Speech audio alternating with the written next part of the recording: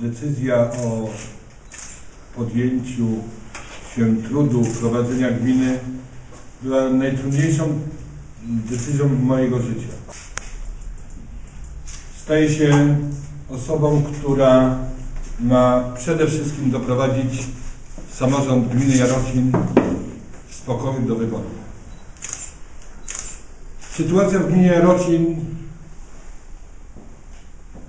która została nam po poprzednich kadencjach, jest trudna i złożona. Dziś, kiedy w sposób nienormalny, w nienormalnym czasie mają, się, mają odbyć się wybory, musimy wszyscy, wszyscy mieszkańcy zaangażować się w pracę na rzecz Jarocina. To od nas zależy, czy w następnych latach Jarocin będzie się rozwijał.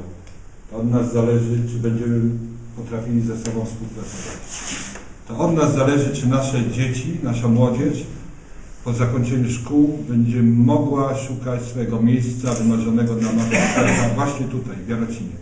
Na poszczególnych następnych konferencjach będziemy przedstawiać Państwu projekt budowy nowego Jarocina, takiego Jarocina, o jakim marzymy.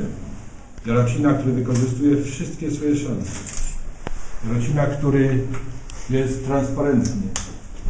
Jarocina, który nie ma nic do ukrycia. Jarocina pozbawionego kolesiostwa. Dzisiaj z nami, ze mną są osoby z różnych środowisk.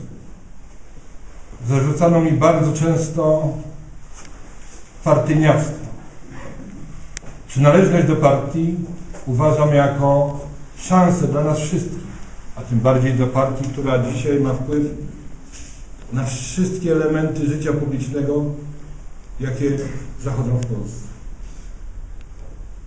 Całą wartością w sobie jest to, że na tej sali są ludzie o poglądach lewicowych, prawicowych, centrowych, którzy kierują się przede wszystkim dobrem miasta, dobrem mieszkańców. Przy kierowaniu samorządem jest potrzebnych wiele elementów. Do kierowania dobrze samorządem, samorządem jest potrzeba jeszcze więcej elementów.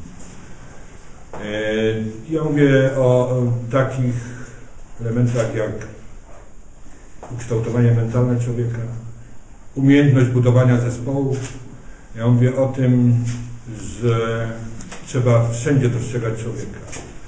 Ja mówię o tym, że również trzeba być przygotowanym i doświadczonym samorządowcem. Nie mnie oceniać lata mojej działalności w samorządzie. To ocenią mieszkańcy. Natomiast wiem jedno. Między innymi ostatni okres, kiedy